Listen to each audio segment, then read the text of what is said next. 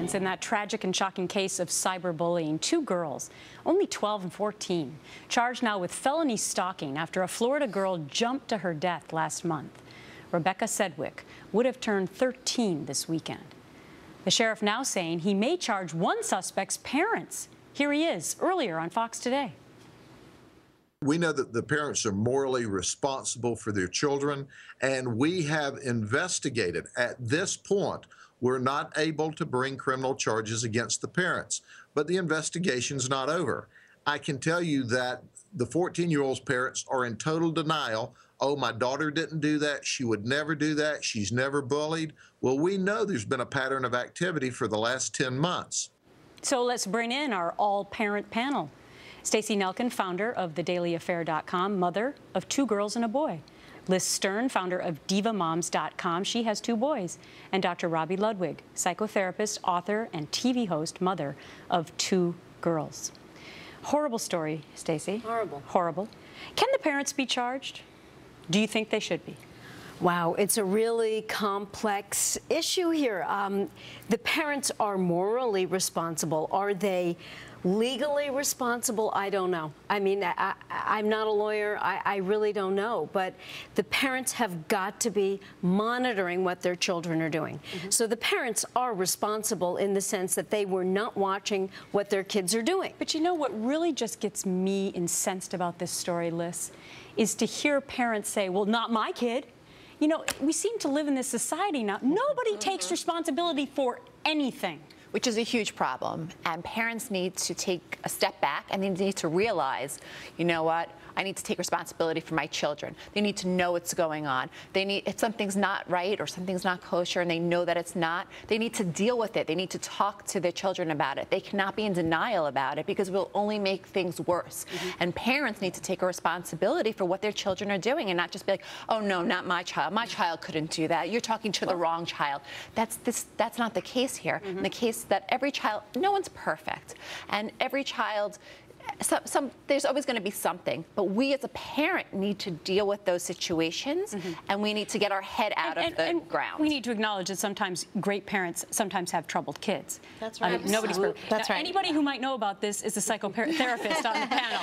Well, you know, they've done studies where they found that there are bad kids born to good parents. So there, there certainly are situations like that, especially if you give birth to more of a bad seed or a sociopathic kind of child. And of course, they're not diagnosed with that uh, early on, but there certainly are tendencies. But I think what's really most important here is to understand the reality that anybody can be aggressive, anybody can be mean-spirited, and as a parent, we really need to early on when your when your kids are actually listening to you to develop an understanding of the importance of empathy mm -hmm. and and your your child's ability to think, wow, how would I feel if this were done to me? Also, yes. if you're a parent and you're monitoring your child's mm -hmm. social media, as I believe all parents should, then would, then would you yeah. not have seen these they, tweets? This mom should have seen. This mom should have been watching. It's Absolutely. very difficult because kids are way more tech savvy than any of us are. They know how to keep things hidden. Yep. And so it's challenging. That's why it's all about the relationship between the parent and child. Exactly. And, and more than that, the community at large as well. Mm. This is something the school should be involved yep, but parents in. need to be talking to their kids about what's going on socially yes. with them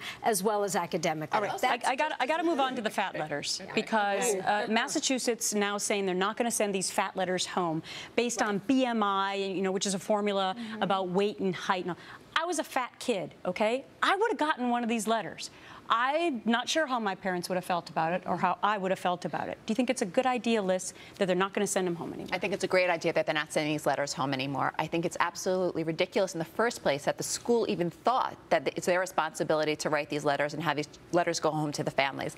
Parents know, children know if they're not where they should be, if they are a little obese, oh, not a little obese, if they're obese or if they're fat. But they don't denial. Need, but they don't need more issues. No, but this is the pediatrician needs to step in. This is for the parents and the yes. pediatricians, not the school. Well, well, but here's the case. I interviewed some of these kids who have received these letters in the mm -hmm. past, and they're not fat.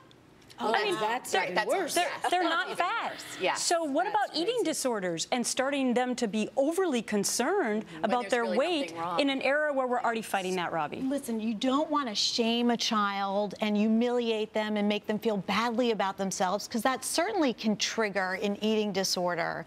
Um, but you certainly want to make parents aware. And we are assuming that all parents are educated about the ideal weight. And I do think that it really should come from a pediatrician. But maybe some of these parents don't have a regular pediatrician. Maybe they're part of a clinic setting.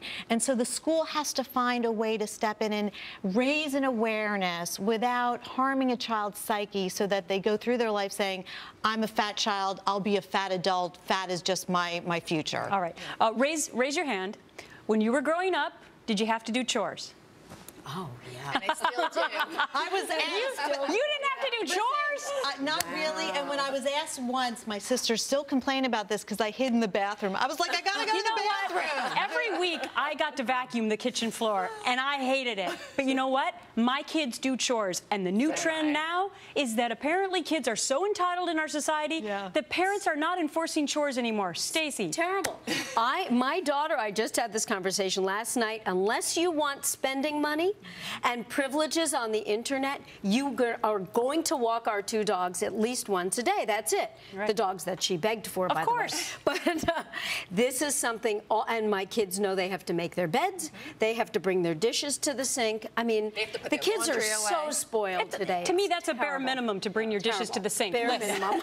Okay, Not my house. So as, as a mom of two young boys, nine and six year old, it is very important and make it very clear in my house that they have to do their chores.